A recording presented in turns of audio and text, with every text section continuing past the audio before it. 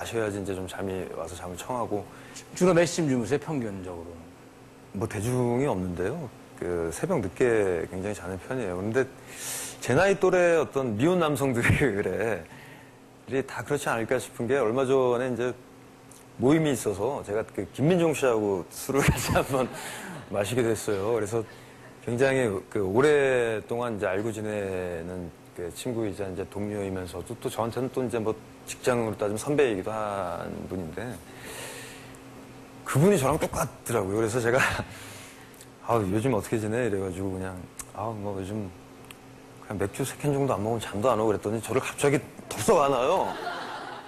그지 이러면서 이러, 이러면서 아, 이게- 그러, 예. 그러더니 하, 자기는 정말 자기는 또 그렇대요. 그러면서 막 새벽에 이렇게 혼자서 맥주 세 캔 먹고 혼자 있다가 아 내가 앞으로 20분 안에 지금 전화 오는 여자가 있으면 이 여자랑 내가 결혼한다.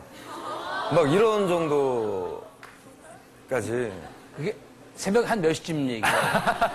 몇 시, 기억나요? 몇 시쯤? 그게 뭐 한 새벽 두세 정도까지도 뭐 어떻게 가는 거죠. 아, 그럼 그런 스타들이 전화 걸 데가 없어요? 아니, 무슨, 저, 근데 이제 그런 거랑은 또 틀린 것이에요. 그러니까 예를 들어서 너무 친한 친구들이 있잖아요. 뭐, 뭐 저 같은 경우에는 뭐 여러분들 다 아시는 뭐 공영진 씨도 계시고 뭐 박중 선배님도 계시고 뭐 김승호 씨, 주신모 씨, 한재석 씨 뭐 주변에 많지만 그 친구들이 채워줄 수 없는 무언가였던 것 같아요. 그러니까 김민종 씨랑 저도 만약에 같은 시간에 그러, 똑같이 그러고 있을 때 서로 통화를 한다고 해도 그, 아, 그때 너도, 보고 싶진 않은 아, 너도 그러고 있니? 나도 그러고 있다. 이럴 수가 없어서. 그러면서 김민종 씨 가 너무 공감을 하면서 그러니까 그 굉장히 독실한 불교 신자이기도 하거든요. 그러면서 지금도 차고 있는데 이렇게 염주를 저의 손에 이렇게 딱 채워줬어요. 그러면서 이, 이 염주예요. 예, 굉장히 그 예, 김민종 씨가 차고 껴안으면서 예, 야, 그러면 지금 제가 우리 잘 이겨내자 서로 막 이러면서 아니 그러면 나도 좀 나이가 들어가는구나 외양이 이런 것에 대해서 좀뭐 초조하다고 할까? 이 나이 든 것에 대해서 또 후배 배우들은 또 젊고 싱싱한 외양이 배우들이 막 올라오고.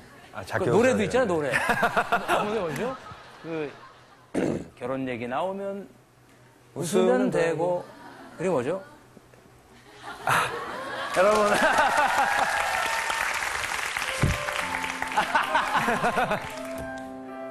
겨 아유 말라오면 웃으면 되고 잔주름 눌면 작게 웃으면 되고 꽃미남 후배 점점 늘어나면 연기로 승부하면 되고 뭐 이런 노래인데요. 야 그러니까 뭐 그러니까 젊음을 잃어가고 나이가 먹는 것에 대한 그 두려움은 아니고요. 뭐 아쉬움은 있습니다. 사실 그 어떤 아쉬움 있나요? 어, 그러니까 좋았던 것이 앞으로 더 좋은 것이 있어도 내가 어떤 그 더 좋은 것을 갖기 전에 버려야만 하는 것들 꼭 스쳐 지나갈 수밖에 없는 것들이 있잖아요. 그럴 때 느끼는 그냥 아쉬움. 그러면 장동건 씨가 누구한테 망신을 당하거나 좀 장동건 씨의 굴욕의 순간이 뭐 정말 이런 경우는 창피했다라고 살면서 그런 경험이 있으세요 혹시? 배우가 되셔서도 좋고 뭐 뭐 그런 적은 제가 물 좀 마시죠. 저, 아, 입이 좀 바짝바짝 마르네요. 예. 참 아무것도 아니군요. 왜냐하면 왜냐하면 이 장동건 씨도 목이 말라요. 그러니까 제가 이제 초등학교, 중학교, 고등학교를 한 동네에서 나왔어요. 그러다 네. 보니까 그 초등학교 동창들이 중학교 동창으로 이제 연결되는 친구들이 많고 또 중학교 동창이 고등학교 동창으로 또 이어지는 경우들도 굉장히 많았는데 그러니까 제가 어렸을 때부터 이렇게 좀 남을 의식하면서 사는 삶을 좀 살아왔던 것 같아요. 그러니까 그 이유, 이유가요. 네. 자- 잘생기셔서 동네에서 유명했어요. 싸움으로 아니 그건 아니고요. 아이저 예, 인기가 좀 있었어요. 아, 아, 이제 알겠어. 아, 네. 그런데 그런데요. 아, 집에서 이제 학교를 가기 위해서 이제 버스를 타고 타, 타거든요. 그러- 그러면 이제 옆에 여고 학생들하고 같은 버스 정류장을 그 옆에, 타요. 옆에 오고 학생들은 이제 저 남학생이, 장동건 남학생이 참 멋있다는 걸 벌써 소문이 나 있는 상태고요. 동네에서 유명했으니까. 아, 못 듣겠다, 이거. 말씀하세요. 하지 말까요? 아니, 아니, 아니. 괜찮습니다. 아니 그래서 이제 그 버스 정류장에서 이제 항상 버스를 타면 이제 그 여고 학생들이 이렇게 줄을 서 있고 이제 저희 학교 학생들이 이렇게 남학교 학생들이 이제 줄을 이렇게 서 있- 있어요. 그러면 제가 이제 집에서 버스 정류장까지 가는 데가 이렇게 골목을 지나서 찾기를 딱 돌아 나오면 여기가 바로 딱 정류장이거든요. 그러면 이 돌아 나오기 전에 여기 이렇게 제과점이 하나 있어서 이렇게 진열장이 있어요. 그러면 항상 돌아 나오기 전에 진열장에서 이제 체크를 좀 하고 아, 왜 사- 여학생들이 서 있으니까.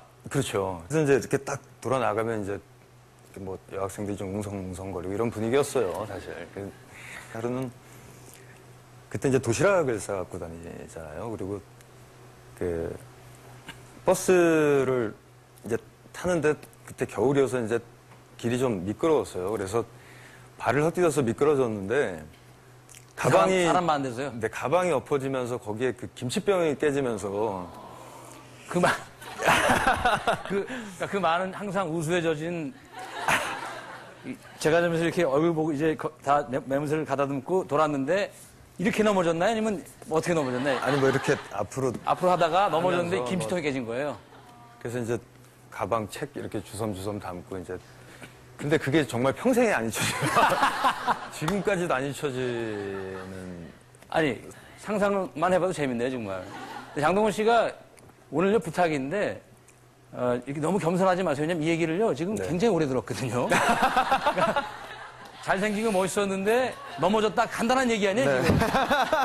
이거를 예, 저, 아, 전 알겠습니다. 그, 자, 이왕 얘기가 나온 거, 그 여성관을 아- 안 여쭤볼 수가 없거든요.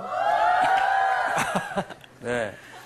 오늘 소리 지르신 저분들은 마음 잡숫고 오신 것 같아요, 오늘. 거두절미하고요. 네. 성인 돼서 사귀어본 여자친구 애인이 몇 명 되세요? 잘 물어봤죠?